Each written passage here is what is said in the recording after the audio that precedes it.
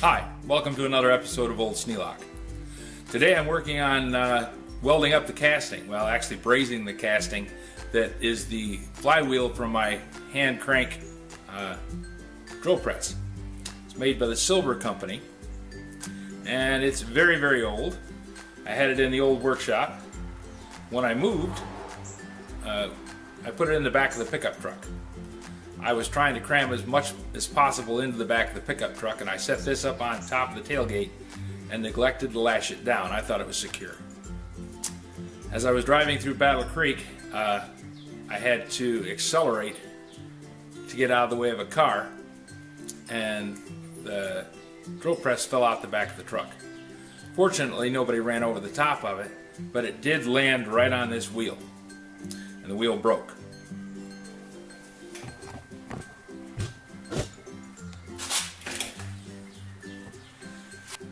These wheels are cast with curved spokes.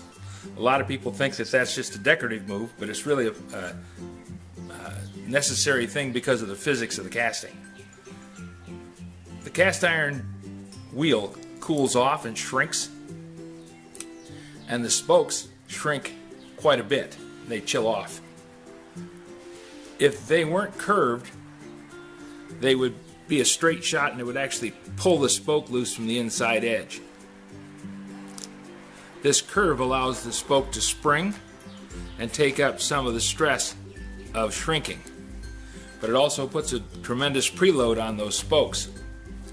That way when the flywheel landed on the pavement,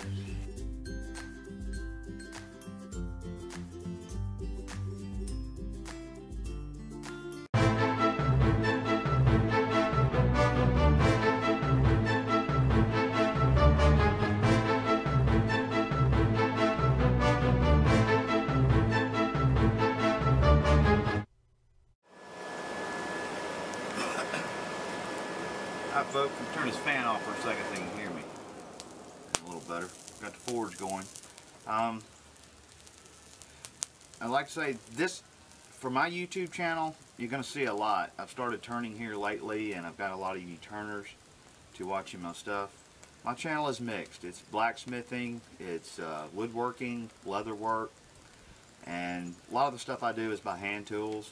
Uh, I find peace of mind in them and I like them. I like finding them, refurbing them, and putting them to use.